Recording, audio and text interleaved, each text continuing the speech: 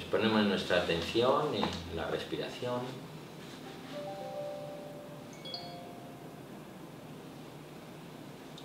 Sentimos que el aire al entrar y al salir por sí solo roza las fosas de la nariz.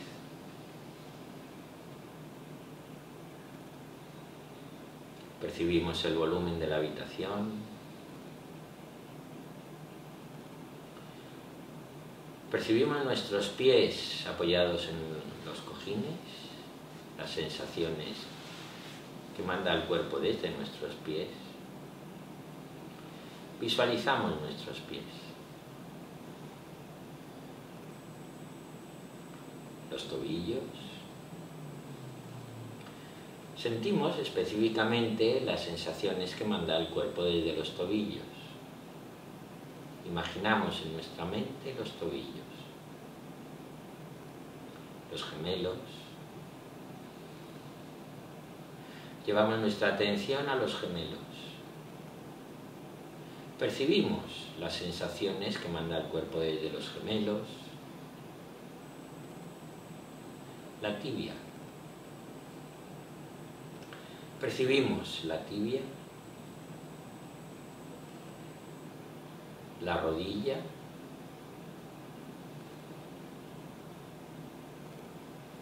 los muslos. Sentimos el tacto de la silla contra el trasero, la espalda,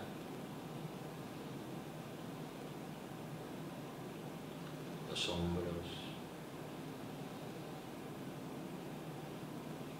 ambos brazos.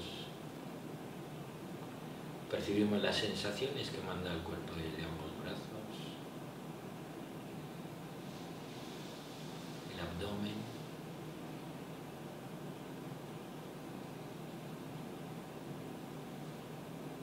El pecho.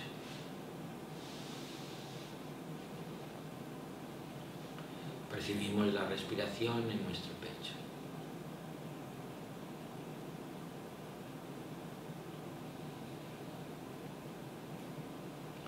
Sentimos lo que siente nuestro pecho.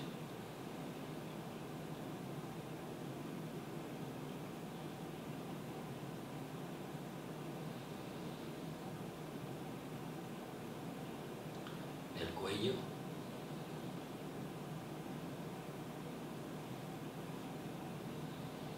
La cabeza. Todo el cuerpo. Sentado en la silla.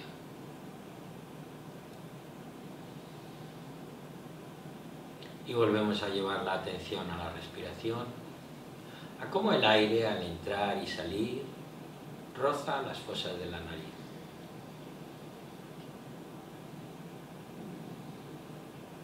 Sentimos el aire al entrar mucho más fresquito y al salir un poquito más caliente.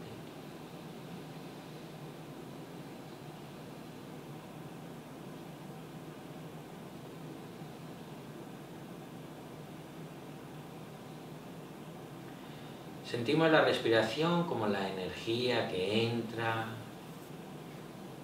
y a través de la sangre a los pulmones y va a llevar toda esa energía a todo nuestro cuerpo. Al respirar estamos respirando la energía de la vida. Sentimos la vida al respirar.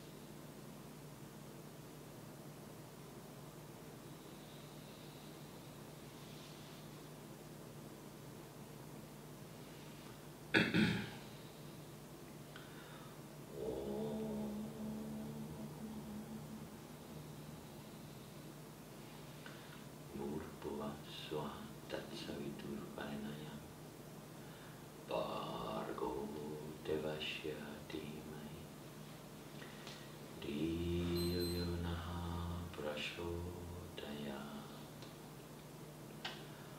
Om Shanti Shanti Shanti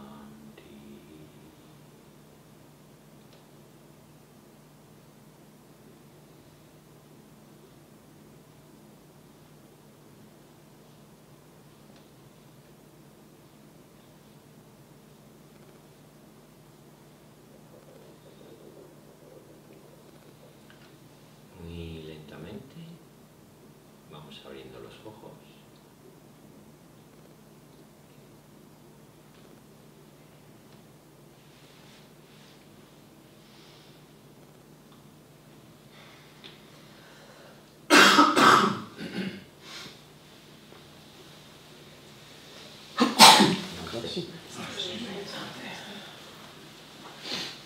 Pues las 11 y 2 minutos.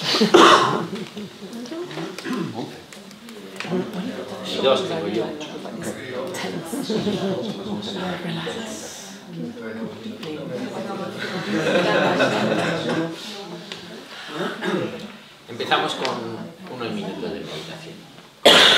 Como los niños en las clases.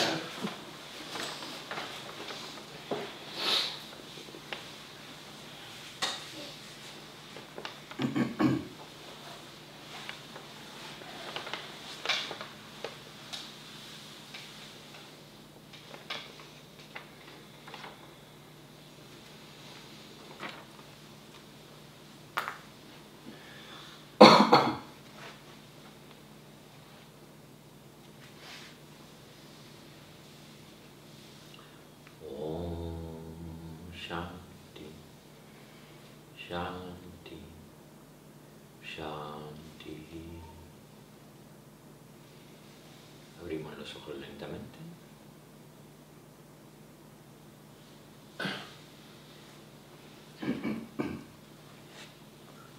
Namaste. Bueno, vamos a calcular un poquito cómo... Te, vamos, queremos acabar entre dos y media y tres menos cuarto. ¿De acuerdo? Bien, entonces... Hoy quiero hacer una meditación con el Enkrim Krim para que volver a entrar en profundidad y luego mmm, vamos a hablar de la mente y de cómo funciona la mente.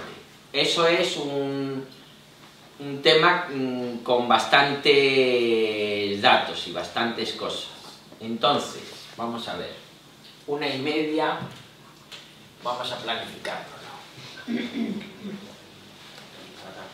Estamos once y media, a una y media tenemos dos horas. Ah, pues perfecto. Y luego una y media... ¿Eh? If Una- we, if we need to grab a sandwich and keep going while we're while Yeah. we're eating, then we could we could do that. If- No, if no, we can we can just uh, you know get the sandwiches and talk about it while we are having a sandwich, or you know we can we can organize, and it's good to stop for the brain too many data. Okay. So what I'm going to do, lo que voy a hacer es vamos a empezar con la meditación. Así entramos ahora en una meditación. Vamos a hacer tres rondas de Lane Cream Cream. Por cierto, y ya aprovecho para deciros, esta técnica, que no es una técnica como para ponerte en practicar en casa, pero os aseguro, si en algún momento de vuestras vidas estáis en, es- en esos momentos malos, malos, bueno, que van desde un ataque de pánico, ¿no? Hasta una situación de estrés muy grande, a, a un estado que está muy mal, muy mal. Cuando te tiras al lexatín, al tranquimacín, al whisky, a lo que sea. Sí, cuando dices, no me aguanto ya, no aguanto esto, entonces dame una pastilla o dame algo. ¿no? Esto funciona muy bien. Probarlo alguna vez. Porque funciona muy bien y, y es mucho más sano.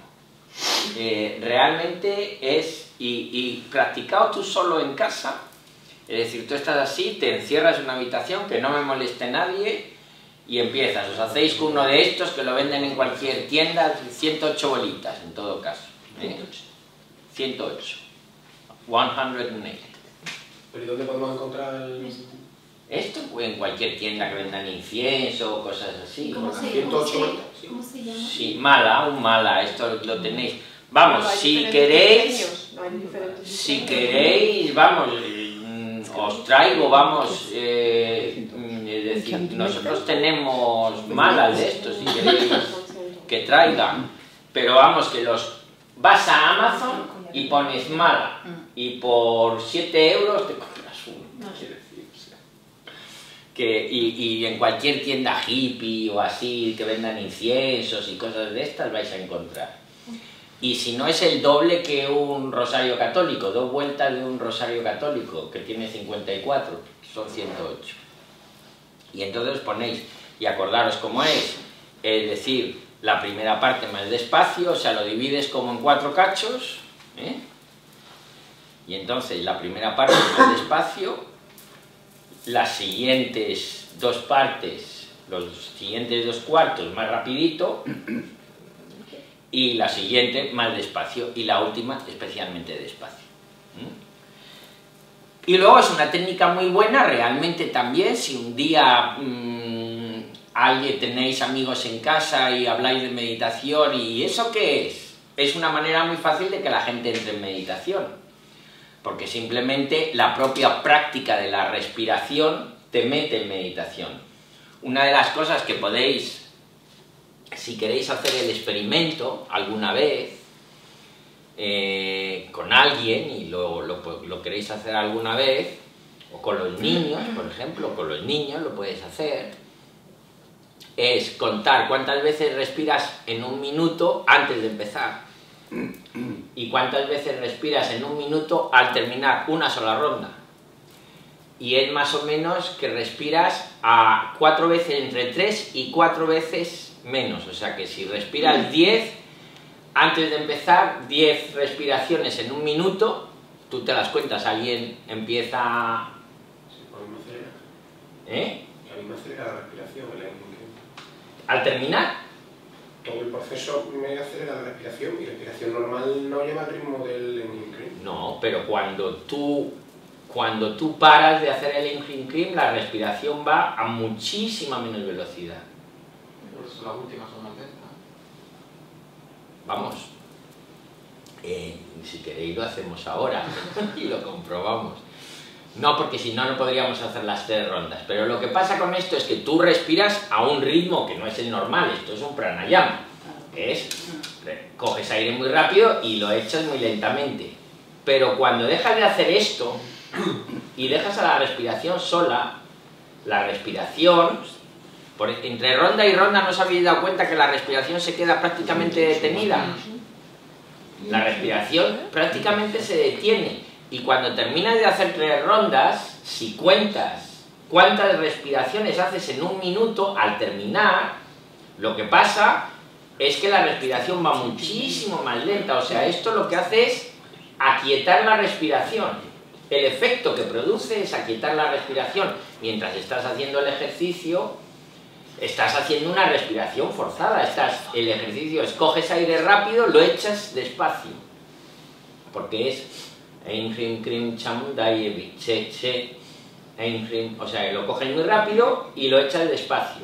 Y, y lo vas haciendo así y además al, al decirlo mm, respiramos todos al mismo tiempo, es una especie de coro y por lo tanto nos, nos sincroniza, si quieres, y además eh, al estar moviendo estos músculos sin decir nada, eh, es muy fácil descartar los pensamientos que van viniendo porque tienes que concentrar la mente en mover estos músculos sin decir nada y entonces vas dejando a, a los pensamientos pasar y cuando estás en un estado muy mal que no te aguantas, precisamente esa, esa, esa característica que tiene la técnica es los vas dejando pasar y entonces van perdiendo presión, van perdiendo presión y van perdiendo presión hasta que la pierden del todo. Y, y terminas y, y yo siempre digo, porque además es verdad, yo lo he hecho y lo podéis intentar. Si haces 21 rondas, 21 rondas del Green Green. 21 rondas. Hay un monasterio en el Tíbet que hacen 21 rondas de esto, todos los días. Pero si haces 21 rondas, que yo lo he hecho, y al terminar la ronda número 21 te preguntan cómo te llamas, no te acuerdas.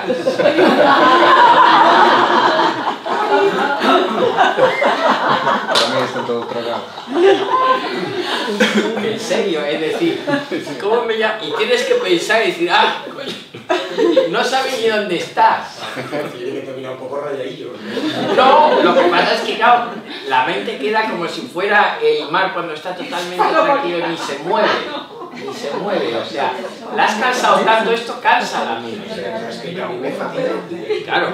Me fatiga la respiración, me fatiga, o sea, Vamos a ver, esto es me como, fatiga, me fatiga una 21, no me lo quiero imaginar, esto es como el ejercicio de tensión-destensión. A mí se me. Entonces, Y este me. Bueno, pero es que aquí lo que estás tensando es la mente, que es mucho más sutil que el cuerpo, ¿no? Entonces, tensas la mente y la sueltas, porque cuando dejas de hacerlo, la sueltas.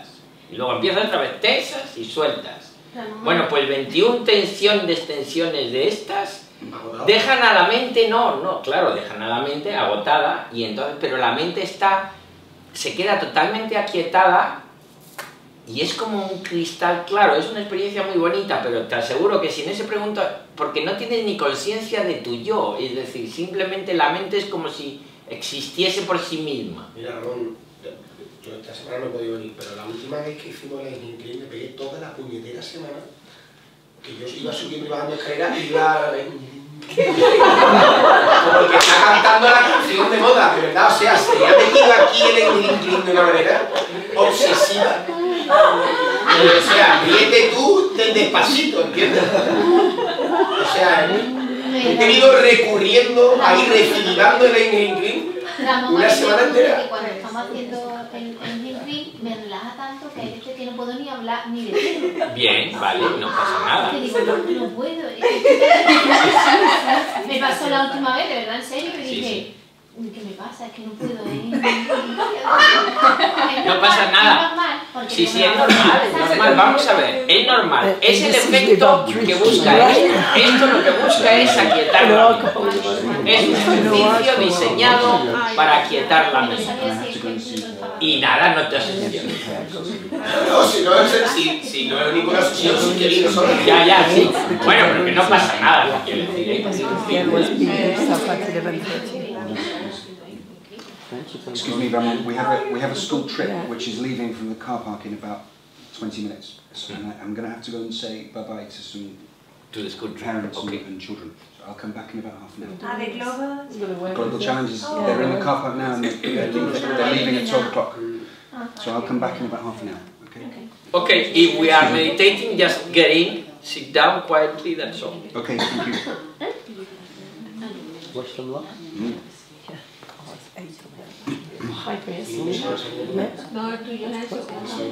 Es eso. Bueno, Por siete. pues venga, vamos a empezar. Ah, por cierto, eh, a ver cómo suena esto. Sí, sí, sí.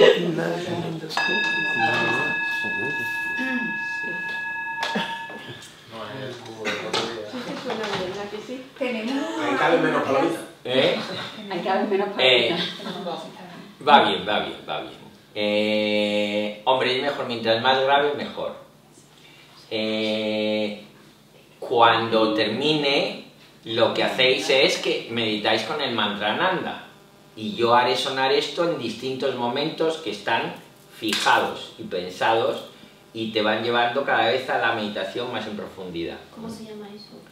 Bueno, esto es un cuenco. Para. Sí. No sé si tiene un nombre. No, cuenco, no. Vamos a ver, esto, el, el cuenco, las campanas, ese tipo de... Eso está en todas las tradiciones, es decir, el sonido este...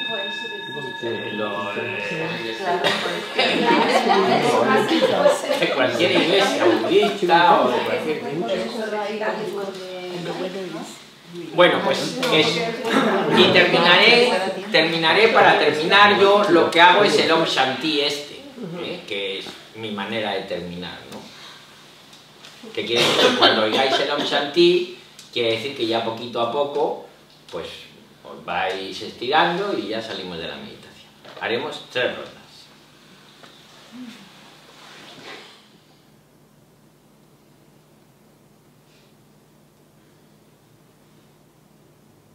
Abrimos lentamente los ojos.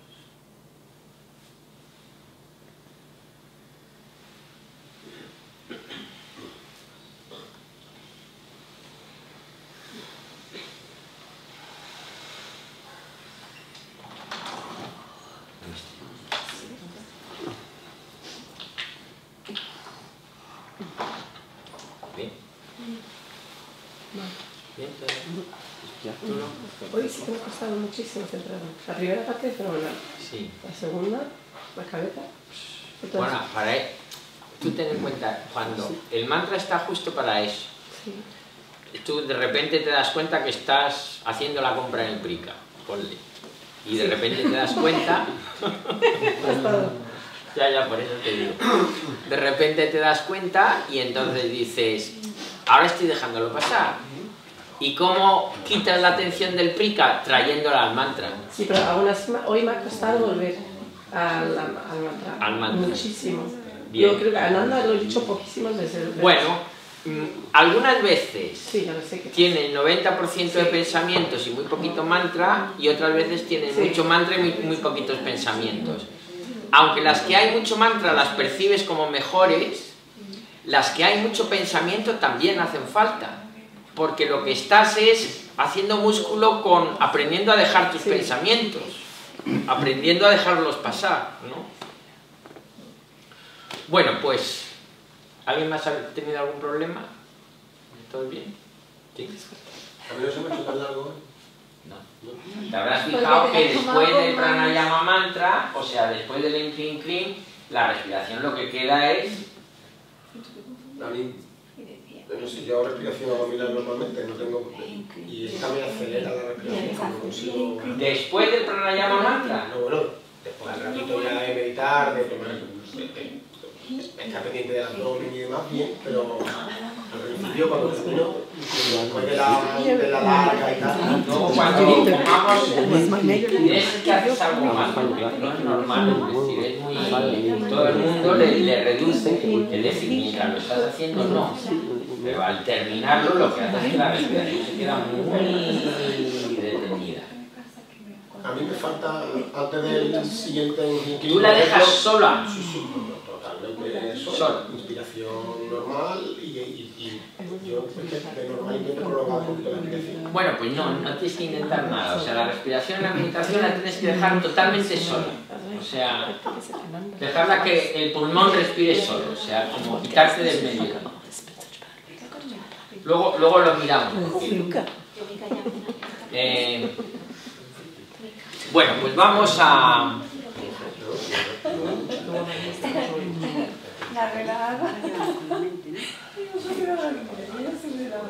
Y yo creo que yo a veces me concentro en tu voz más que en la mía. Bueno, da igual. Bueno, pues todos son cosas...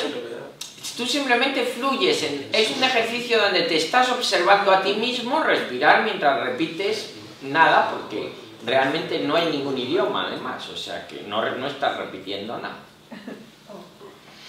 Eh, vamos a empezar con la parte más, eh, digamos, densa en el sentido de datos, que es cómo funciona la mente, pero que es eh, importante. Entonces, yo os voy a hablar un poquito de la mente tal y como la entienden los orientales, ¿eh? porque los orientales han estudiado mucho más la mente que los occidentales. Eh, no sé si lo dije el primer día, pero aquí hablamos del subconsciente en el siglo XIX y en Oriente llevan, llevan hablando del subconsciente 3.000 años, o sea que nos llevan, nos llevan un puñado. Eh, lo que está pasando es que la ciencia actualmente está, mm, primero la psicología bebiendo de, todo ese, de toda esa sabiduría oriental y además están empezando ya los físicos, incluso los físicos, a darse cuenta de que el concepto de la mente oriental encaja mejor con la matemática del universo. Y el concepto de la mente oriental es que la mente no es el cerebro, el cerebro es un sentido y la mente es información. Eh, de hecho, eh, la mente es algo manifestable, es decir, es una manifestación física. Nosotros tendemos a pensar en la mente como los pensamientos como huecos en el vacío, no como cosas. Y sin embargo los pensamientos, la mente son cosas, cosas que existen y que el cerebro percibe. Os voy a poner un ejemplo de algo que probablemente muchos hayáis tenido la experiencia. Cuando tú estás, por ejemplo, si alguien hace música componiendo una canción, o si estás escribiendo un poema, las famosas musas es que es como si te lo dictaran, es decir, te sale solo. ¿Habéis tenido alguien esa experiencia? ¿Eh? Cuando estás inspirado es te sale solo, eh, eh, parece, es decir, es como si estuvieras oyéndolo y lo estás escribiendo. ¿Habéis tenido alguien esa experiencia? Es, típica esa experiencia. Por eso lo llaman las musas, ¿no? La inspiración que te lo dictan, ¿no? Realmente es un poco que el cerebro está captando la mente, ¿no? Entonces la mente es información. si recordáis lo de Milito, ¿os acordáis de Milito? ¿Eh? Este es el Big Bang. Y se puede decir que en el primer momento no había información. Es decir, no había espacio, no había tiempo, no había átomos, no había nada, había, y estoy hablando de la física, lo que dice la física, había un puntito del tamaño de un Planck. ¿Sabéis cuánto es un Planck, no? 10 elevado a menos 24 centímetros. Eso es lo único que había. Y de ahí surge todo, ¿no? Entonces, ahí no hay información. Y a partir de ahí se produce la famosa gran explosión y empiezan a interaccionar unas cosas con otras y entonces empiezan a generar información. De hecho, la teoría de la información y el principio de que la información no se pierde que desarrolló Stephen Hawking está aceptado eh, por todos los físicos, ¿no? Y todas estas discusiones que ha habido sobre los agujeros negros, para que los que os guste la astronomía, la pregunta era si un agujero negro todo desaparecía, ¿qué pasaba con la información? Porque la información no se puede destruir. Y entonces, bueno, pues hay una teoría que queda en la superficie del agujero negro y ahora hay otra teoría que entonces la mente en realidad es la superficie del universo que tiene toda la información. Bueno, y hay físicos como Sir Roger Penrose, que es premio Nobel de Medicina, que están haciendo hipótesis sobre eso y cómo el cerebro conecta con esa información, a través de no sé qué microtúbulos. Si lo miráis, hay un artículo ya en Nature hablando de esta hipótesis. Todavía no, nada demostrado, pero hablando de esta hipótesis. De cómo el cerebro conecta a través de un efecto cuántico que son unos microtúbulos que hay en las neuronas con esa información. Entonces están haciendo la ciencia sus primeros pinitos. Pero eso que, digamos, la información, la totalidad de la información que contiene el universo, es lo que en Oriente llaman la mente universal o, o, o Ishvara, o lo que podría ser lo que nosotros consideraríamos el Dios manifestado, el Dios personal, es decir, lo que está manifestado, ¿no? que es la totalidad de la información. Entonces, imaginaros, digamos, esto es el Big Bang, y entonces, a lo largo del tiempo va aumentando la información, va aumentando la información, va aumentando la información, va aumentando la información, y después de 13.700 millones de años, pues hoy, a día de hoy, estamos aquí. Y ha habido todo este camino. Entonces, hay un diagrama para que entendáis la mente, que es el que voy a utilizar, que es el siguiente. La mente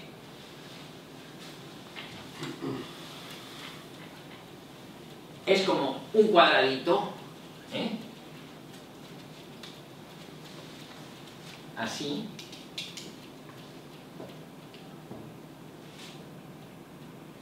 no es que sea así, sino que esto es un ideograma, es para expresar una idea, que está conectada por un lado con el universo y por otro lado con la mente. Por un lado con el universo material y por otro lado con la mente. Está conectado y la vamos a dividir así en. Tiene como cuatro, cuatro, cuatro cachos está conectado con, a través de un canal de entrada y de un canal de salida. El canal de entrada que tienes con el universo son los sentidos, tú percibes a través de los sentidos, y el canal de salida son los músculos, y actúas a través de los músculos.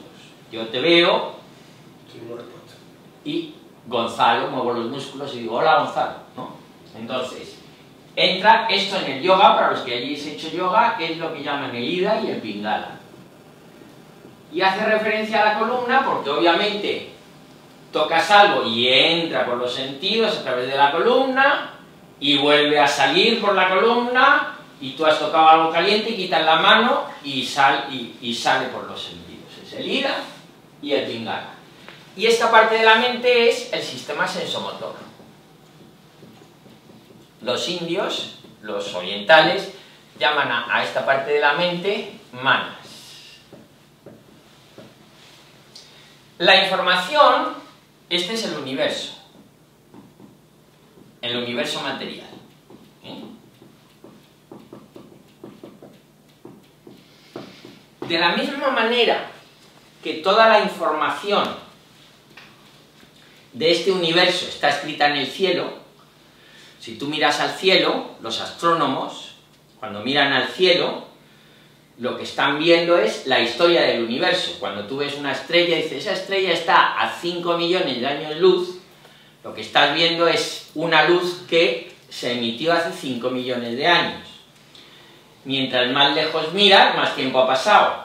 Cuando te describen el universo temprano y el Big Bang, simplemente te describen lo que ven con el telescopio porque mientras más lejos miras, más tiempo ha pasado.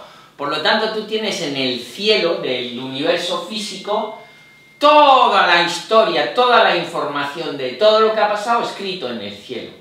Pues imaginaros otro cielo aquí. Todas las experiencias que van en ese hilito desde que empezó el presente ciclo del universo hasta ti, también está escrito en esa mente con la que tú estás conectada, ¿no? En ese cielo de tu mente. Entonces vamos a llamar a esto a la mente universal. Y ese cuadradito es tu mente individualizada. Podría representar el cerebro. ¿eh? Esto tiene, digamos, es como, de la misma manera que aquí hay luz, el sol, las estrellas, aquí también hay luz. Esto es como la luz, toda la experiencia, toda la luz que aporta esa información está, ahí está la luz de la mente.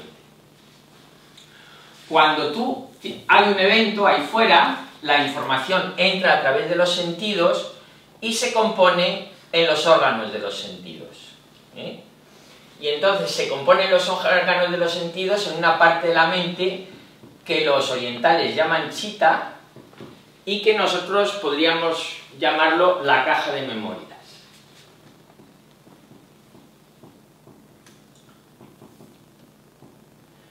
Entonces, ¿esto cómo funciona?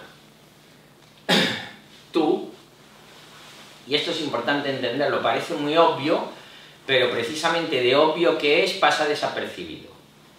Tú estás andando eh, por la calle, imaginaros, estás andando por la calle y ves a tu, en la acera de enfrente, a tu novio, novia, esposo, esposa, ¿no? Vamos a poner esa situación, eh, caminando de la mano alegremente con otro hombre mujer, ¿no? Y entonces tú te entra por los sentidos, y entonces dices, ostras, mi novia.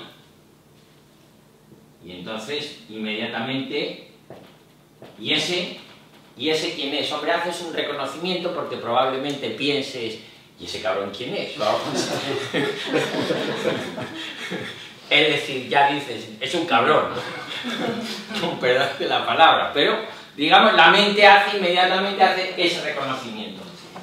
Eh, tu novia está, digamos, asociada a otras memorias, algunas de ellas conscientes y otras inconscientes, y a su vez a otras memorias y a otras estructuras que se han ido almacenando en la mente eh, eh, y que vienen desde la infancia, de tu forma de relacionarte, etcétera, etcétera. Es decir, al ver a tu novia, tiras de recuerdos conscientes próximos, pero también tiras de un paquete de información. Digamos, esto activa un paquete de información, el paquete de la información de la novia, en realidad esto activa otro paquete de información, de otras veces que ha pasado y alguna cosa inconsciente que hay ahí, y digamos, al final, este evento activa un paquete de información de la caja de memoria.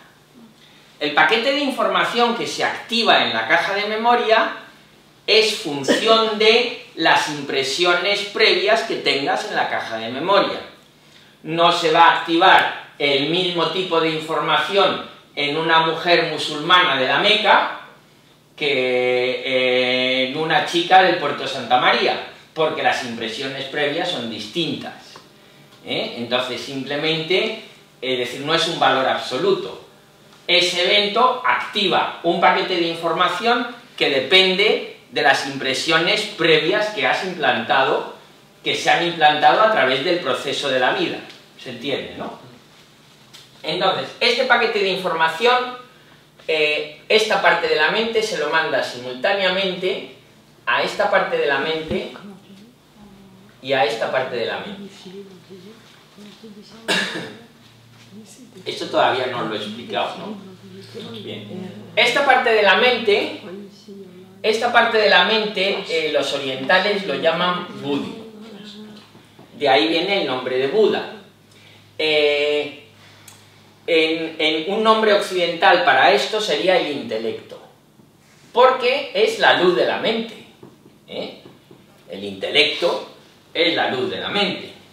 Lo que pasa es que Budi tiene un significado más espiritual y intelecto tiene un significado más de, lógico, ¿no? Pero bueno, es lo que está en contacto, es la parte de ti que está en contacto, se podría decir, con Dios, o con la mente de Buda, o con la mente de Cristo, es decir, es esta parte de la mente. Que en la parte más superficial lo que hace es el análisis de los pros y los contras de la situación. Es decir, en la parte más superficial de ese intelecto, de esa luz de la mente, lo que hay es el análisis de los pros y los contras de una situación. Entonces tú ante cualquier evento, y se produce automáticamente y muy rápidamente la mayor parte de las veces, pero siempre hay un análisis de los pros y los contras. Eh, pasa algo y tu mente hace un análisis de los pros y los contras de las porque tienes que dar esa información, el resultado de este análisis se lo tienes que dar a esta otra parte de la mente, junto con esta información, que es lo que los orientales llaman ahankara, que es lo que nosotros podríamos llamar la identidad. O el pequeño yo.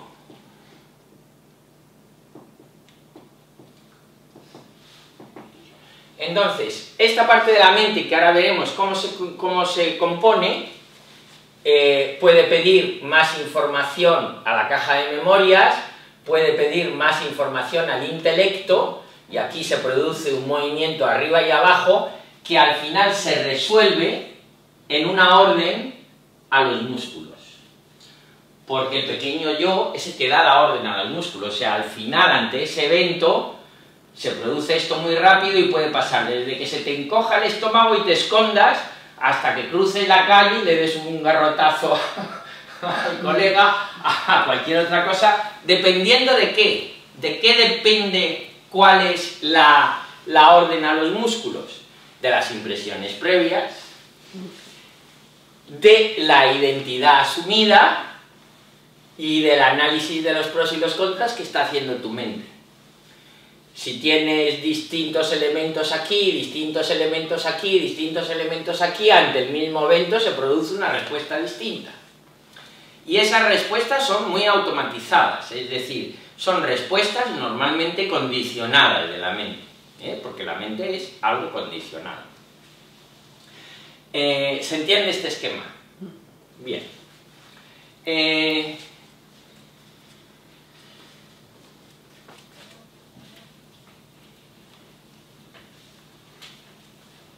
Ahora vamos a hacer otro esquema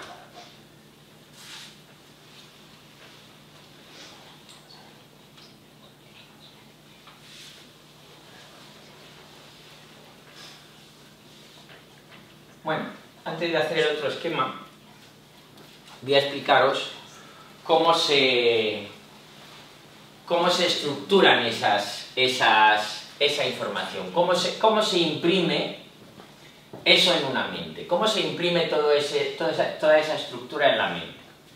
Digamos que tú naces y tú naces con esto sin escribir. ¿eh? Esto viene sin escribir. Y estás aquí delante del universo, es decir, que tiene por un lado el cielo, pero aquí en, en lo cercano tienes a tu papá, a tu mamá, es decir, tienes tus circunstancias. Y a lo lejano tienes el cielo. Entonces, tú, y tú naces digamos, con una información que viene desde que comenzó el presente ciclo del universo hasta el momento presente y que es la suma total de todas las experiencias que han tenido que ocurrir para que se produzca esta corriente, esta tendencia, y tú se puede decir que naces con una tendencia determinada. Son como, unas, como las corrientes que luego van a producir las olas y esto sin, escribir. Entonces, por ejemplo, imagínate, tú naces con una tendencia llorona.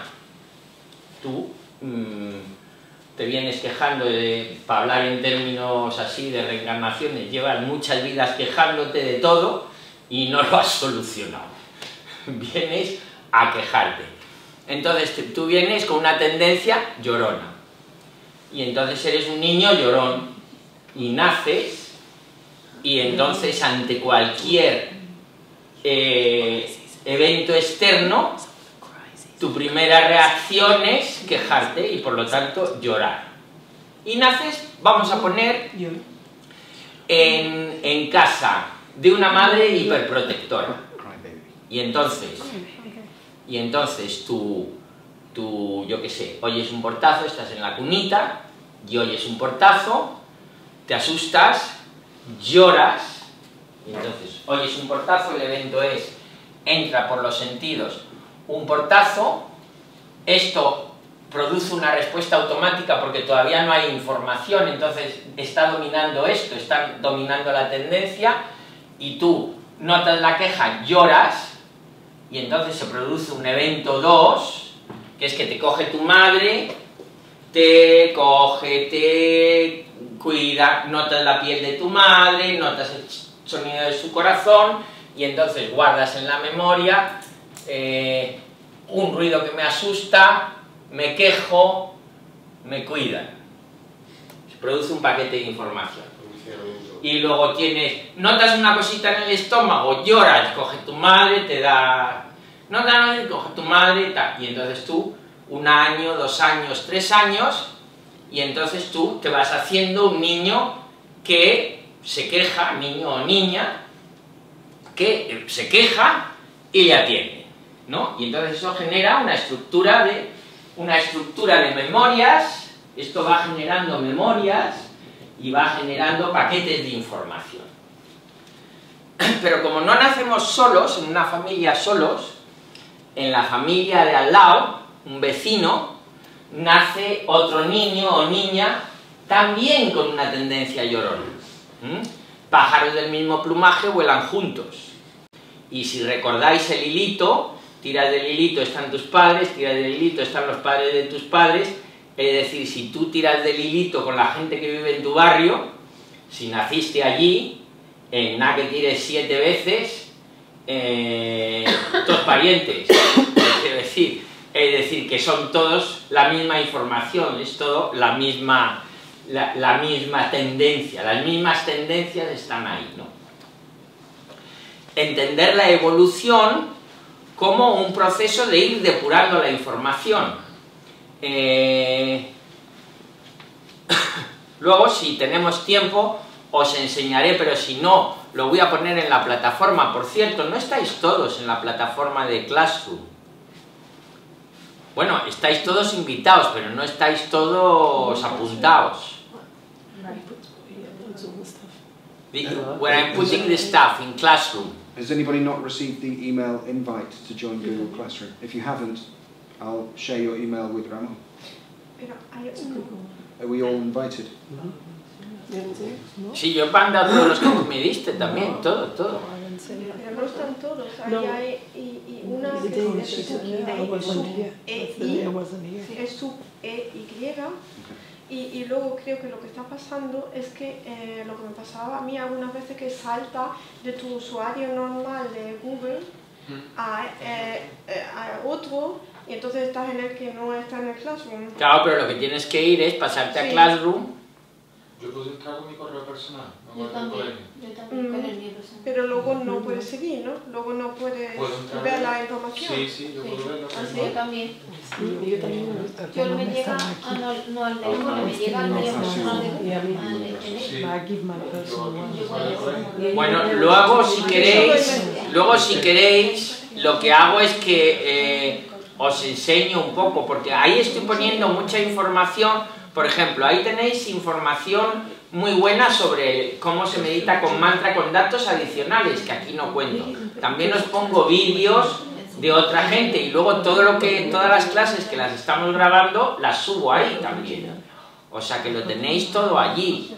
Y conviene que, que, que, que- que- ¿Quién de aquí no está en Classroom? ¿Tú? ¿Dos? Yo tenía problemas con el correo del Y colegio. José Luis tampoco. Yo por entrar no- no hay problema, pero voy a intentarlo otra vez. Bueno, hay, la manera más fácil es que si tenéis un correo de Gmail, entréis con vuestro correo personal y ya está. Aceptáis la invitación y entonces al aceptar la invitación, Google te dice, ¿quieres entrar con tu cuenta de Gmail? Le dices que sí y ya está. Vale, pues. Porque si quieres entrar con la cuenta de colegio, que también puedes, tienes que abrir una cuenta en Google con el mail del colegio. Y eso ya es un lío porque luego te salta de una a otra. O sea que si tenéis una cuenta en Gmail, entráis con vuestra cuenta de Gmail y ya está. ¿Mm? ¿Quién más no, no está? O sea, estás, no estás tú, no estás tú y no estás tú. ¿Qué hago? ¿Os vuelvo a invitar o tenéis la No, no, invitación? tengo la invitación, pero, pero incompatibilidad con del cole. Yo puedo mi correo de Gmail con esa invitación. Bueno, luego pongo todos los correos que hay, si falta alguno lo metemos directamente. ¿eh? Y además así os digo todo lo que hay. Luego la pongo en un momento. ¿Eh? Bien, eh, ¿dónde estábamos? En el segundo Había nacido. Ah, en el segundo. Entonces, nace un segundo niño con una tendencia llorona, pero eh, nace en una familia de allí del vecindario, donde la madre, en vez de hiperprotectora, es pasota, una madre pasota. ¿no? Que el niño llore y dice, ah, que llore, ya se casará. Y entonces el niño, con esa misma tendencia, pues entonces el evento es, lloro, hasta que me canso. Y le vuelve a pasar a otra cosa y llora y hasta que se cansa. Y entonces así poco a poco el niño esa tendencia la va traduciendo en otro paquete de impresiones distintos. Y digamos tiene un año, dos años, tres años, que es donde se, pro- se hace, se graba las partes esenciales, digamos los fundamentos de la mente. ¿eh?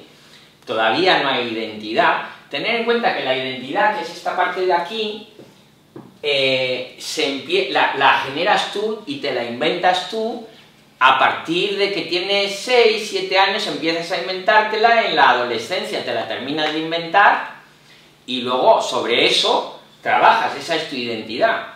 Y entonces, en realidad la identidad son un cacho de estas impresiones que a partir de un momento dado has empezado a hacer tuyas. ¿Por qué creéis que no os acordáis de nada de cuando erais pequeños? Porque tú no te acuerdas los primeros recuerdos que cualquier persona tiene son de los seis años, bueno, puedes tener alguna imagen así de los de pequeñín, pero vamos, que no sabes ni de dónde va ni de dónde viene, pero empezarás a tener recuerdos de algo a partir de los 6, 7 años y empiezas a tener una memoria continuada de ti mismo a partir de la adolescencia y preadolescencia, que es cuando ya construyes la identidad. Entonces, tener en cuenta que la identidad que has construido, la has construido en la adolescencia. ¿Y sabéis cómo son los adolescentes? es decir, pero es que hay muchos adultos que siguen de adolescentes porque se siguen creyendo esa identidad. Entonces, daros cuenta de esa es la parte de la mente de la identidad. El caso es que, bueno, estas dos chicas llegan a los tres años y entonces van a la guardería del barrio. Y entonces en la guardería del barrio, eh, la chica de la madre hiperprotectora llora y por primera vez no la cogen porque la de la guardería es pasota además de tener que atender a 20 niños pasa un poco de la niña llorona. Pero esta otra que le ha pasado lo mismo se identifica con ella identifica lo que a ella le ha pasado y eso se produce inconscientemente porque es la misma tendencia y entonces es ella la que se junta con la otra y se hace su amiguita. Y dice, no llores, porque tal, porque como ella lo ha vivido y se ha tenido que eh, agradar a sí misma y aguantar, pues de repente se ve que ella lo puede hacer y eso que ella ha anhelado que le hicieran, se ve con la oportunidad de hacerlo y entonces realmente va y lo hace. Y entonces esto genera en esta niña nuevas impresiones que a su vez se van desarrollando durante toda la etapa de la guardería, que va generando nuevas impresiones, que luego ya pasan al colegio, pero ¿qué es lo que está pasando? Que las circunstancias que te están rodeando y las impresiones que están generando en tu mente son como especulares. ¿Entendéis lo que os quiero decir? Es decir, los eventos generan las impresiones. Las impresiones, depende de la tendencia, van generando una respuesta al evento, a su vez el evento cambia, que genera una nueva impresión, y entonces las impresiones con las que tú conoces el mundo y las circunstancias en las que vives, en realidad son dos cosas que han crecido juntas, que no son separadas. ¿Entendéis el concepto de que no son separadas? Es decir, que no es que tú estés por un lado y tus circunstancias estén por otro, es que tú y cómo respondes y entiendes la vida y las circunstancias que te rodean son dos cosas que crecieron juntas y siguen funcionando juntas. Es como la misma cosa. En realidad tus circunstancias son un espejo de tus impresiones. Esos patrones están reflejados en tus circunstancias y tus circunstancias son el reflejo de tus patrones. Porque son dos cosas que han crecido juntas. No es que tú vinieras con unos patrones y aterrizaras en unas circunstancias. Es que los patrones que tienes han sido el resultado evolutivo, si quieres, de las circunstancias que te han ido rodeando y cómo has ido respondiendo a ellas, pero es una cosa que es como un baile, que ha crecido juntas. Por eso, cuando no te gustan tus circunstancias, en realidad no te gustas a ti mismo, porque tú, como decía Ortega y Gasset, eres tú y tus circunstancias, que van juntas, ¿no? Entonces, ese es otro concepto, es decir, entender que estos mecanismos que se producen aquí y, si quieres, el evento de circunstancias en el que vives, es decir, lo que está próximo, no lo que está lejano, las estrellas, sino tus circunstancias, tu estructura familiar, tu estructura de relaciones, tu estructura laboral, etcétera, etcétera, es decir, a lo que te levantas cada mañana, son dos cosas que han crecido juntas y de hecho son especulares, es decir, que, eh, simplemente has estado reflejándote y expresándote y has creado un set de impresiones que se expresa en un set de, circunstancias. ¿Se ha entendido? ¿Sí? Bien, entonces, ahora voy a hacer otro esquema de la mente para que lo entendáis de otra manera. Hemos dicho la una para comer. Una y media. Una y media, vale, vale, tengo tiempo entonces.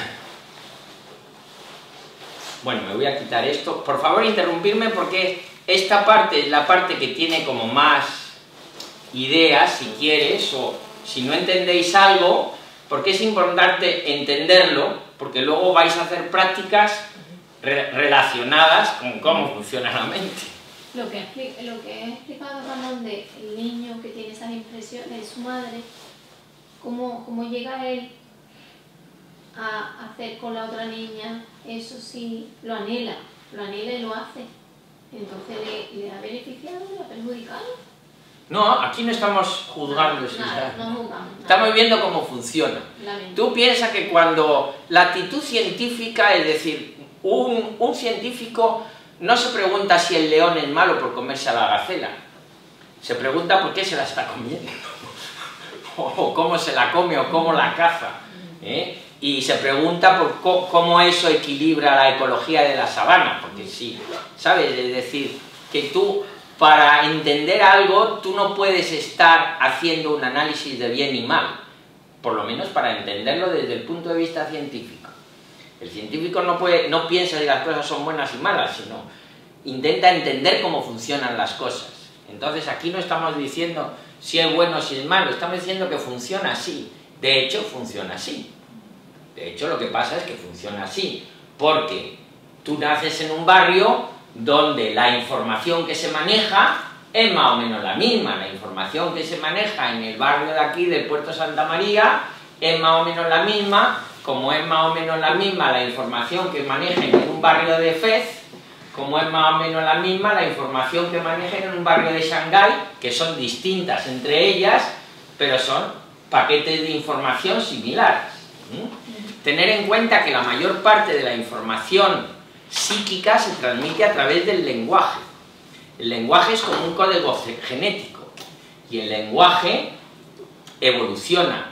Una de las cosas que, tengo para enseñaros, y si da tiempo lo enseño, pero si no lo voy a colgar, es un, escrito de Chaucer, eh, en inglés de Chaucer y en inglés original para que veáis. Y eso no es que nadie haya dicho ahora se habla así y ahora se habla así. Eso es una evolución que ha ido ocurriendo sola porque los términos cambian, adquieren nuevos significados, se matizan, es decir, la información se enriquece, las palabras aumentan y entonces lo que antes decías de una manera, ahora lo dices de la otra, es decir, los genes mutan, las palabras mutan, los significados mutan, se matizan y se va produciendo una evolución del lenguaje que simplemente esa evolución del lenguaje quiere decir que cada vez maneja más información. Antes con el lenguaje manejábamos mucha menos información que ahora. ¿eh? Ahora con el lenguaje manejamos mucha más información. Entonces ese proceso evolutivo se va produciendo en una población y entonces donde tú naces define, digamos, la, la evolución que se está produciendo en ese lenguaje, en esa, si quieres, eh, grupo social determinado, ¿se entiende? ¿no? Es decir, que, es un poco la tendencia, si quieres, de donde naces, ¿no? Entonces tú naces en un sitio donde van a nacer otros muchos con tendencias parecidas, porque es lo que han heredado en ese sitio, digamos, es decir, si tú naces en una familia de yihadistas, pues pues y en un barrio de yihadistas, pues es probable que termine de yihadista, es decir, ¿por qué? Porque simplemente heredas esa información, es la información que heredas, que te transmiten y por lo tanto los genes que tienes para funcionar y para entender el mundo. y te la transmiten a través del lenguaje y de los significados que transmite el lenguaje. Y eso se, transmite desde, desde pequeñines, se lo está transmitiendo en primer lugar los padres que transmiten el, bulk of it, es decir, la mayor parte la transmiten los padres y sobre todo de, de los 1 a los 3 años es una parte importantísima porque los niños de 1 a 3 años captan hasta las emociones que tienen sus padres. Si el padre está en estado de ansiedad, el niño capta esa ansiedad. Es decir, capta todo el mundo emocional. El mundo emocional lo captan de los unos a los tres años, los niños. When you were doing your um, diagram, scheme, diagram, sorry, thank you. It was actually was the whole process was making me think of attachment theory with children.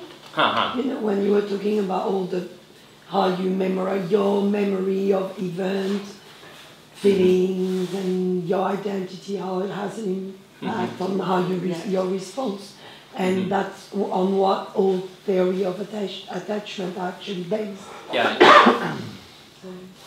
so anyhow, entonces, eh, otra manera de hacer un diagrama de esto es con, con esto. Imaginaros la mente como un cono invertido, donde la parte de, la superficie del cono aquí arriba, imaginároslo como un mar con olas. Eso es la mente consciente.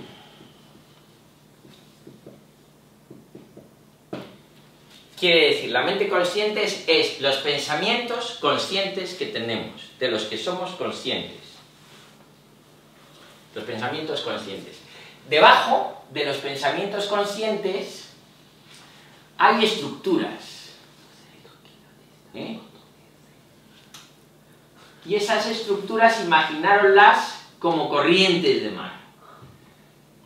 Son estructuras que tienen una energía, al ser una estructura, y esa energía produce una corriente, y esas estructuras producen las olas, que son los pensamientos conscientes. Y entonces estas estructuras, la A, la B, la C, ¿no? hasta la N, en realidad se han ido creando a través de ese proceso y en tus circunstancias tienes al A, al B, al C, etcétera, etcétera, hasta el N. De hecho, eh, esto se ve muy bien y se ve de una forma muy clara eh, en, ciertos, en ciertos sectores, ¿no? Y por ejemplo esto es lo que se llama una verdad jurídica. ¿Sabéis lo que es una verdad jurídica? ¿Alguien sabe lo que es una verdad jurídica? Pues es muy interesante, ¿eh? La verdad jurídica. Una verdad jurídica es algo que siempre ocurre en los juicios una verdad jurídica, es decir. Entonces, una verdad jurídica conocida es que todo maltratador o todo maltratado cuyo caso ha llegado a juicio tiene antecedentes de maltrato en la infancia.